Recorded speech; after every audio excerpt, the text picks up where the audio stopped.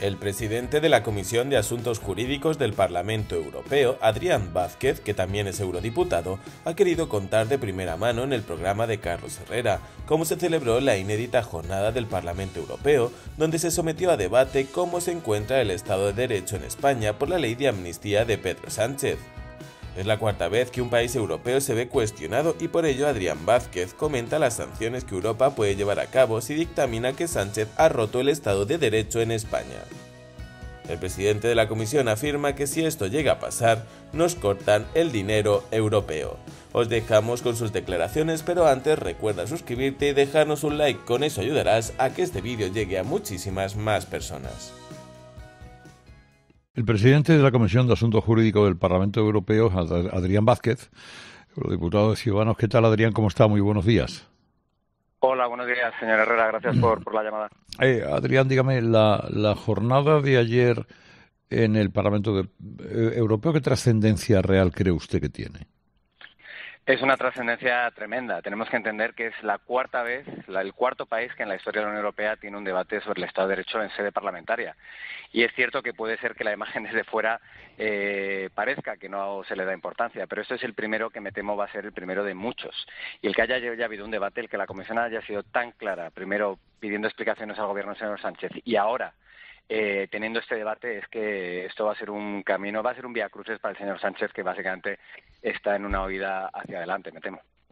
No, no, está totalmente contemplado. El tema es que la, Comisión Europea tiene mecanismos para ese tipo de sanciones, pero tienen que darse una serie de, requisitos, digamos.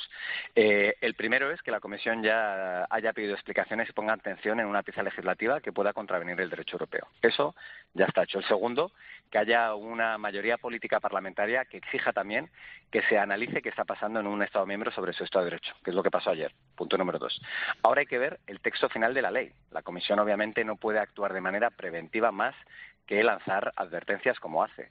Una vez que tengamos la ley, que pase el proceso parlamentario en España, a ver qué enmiendas ponen eh, Junts y Esquerra, que seguro que lo que van a hacer es no mejorarla, y a partir de ahí, si la Comisión tiene dudas, levantará preguntas al Gobierno español y si ahí hay eh, elementos que la Comisión piense que contravienen el derecho europeo, lo que hará es llevar esa ley al Tribunal de Justicia de la Unión Europea, lo que se llama eh, iniciar el procedimiento de infracción.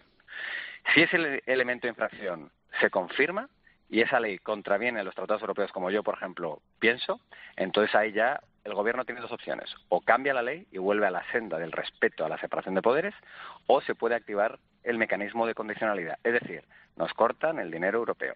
Esos son los procedimientos, se ha hecho con Polonia con Hungría, y esto lo podemos ver en los próximos 12 a 15 meses, pero es un proceso lento y se tienen que confirmar estos pasos.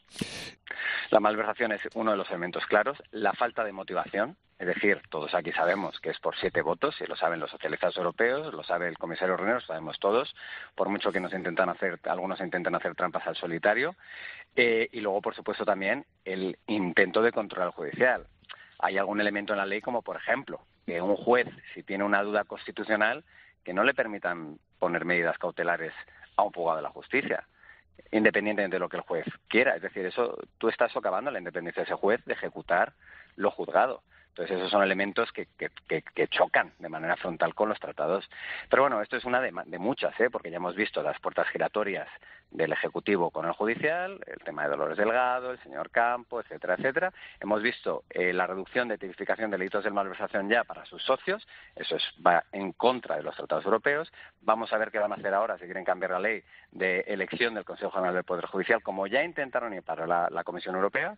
Entonces, yo lo que intento también contar, si me permite, Carlos, es que la ley que han presentado ahora el Partido Socialista está desaguada de acuerdo a su acuerdo político con Junts, es decir, ya no está ahí metido lo del lawfare, aunque lo están haciendo por la puerta de atrás con las comisiones parlamentarias, por la presión de Europa.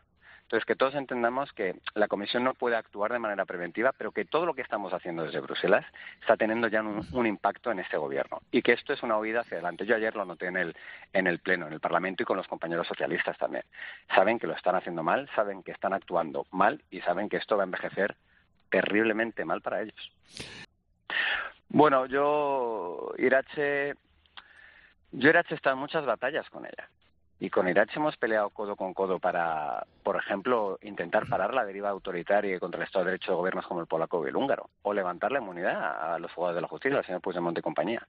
Yo, verla ayer diciendo lo que decía, pues, pues al final lo que, me, lo que me hace es apenarme, porque toda su carrera política se fue al traste ayer. Eso es lo que va a pasar a la historia en la carrera política de Irache y del Partido Socialista en Europa. Entonces, pues hay gente que tiene ese tipo de tragaderas, yo, yo no las tengo. Y también le digo, yo he hablado con muchos socialistas europeos, con muchos, y la señora Irache está muy debilitada en su grupo político y esta huida hacia adelante se la van a hacer pagar tarde o temprano. No olvides darle like y suscríbete si aún no lo has hecho.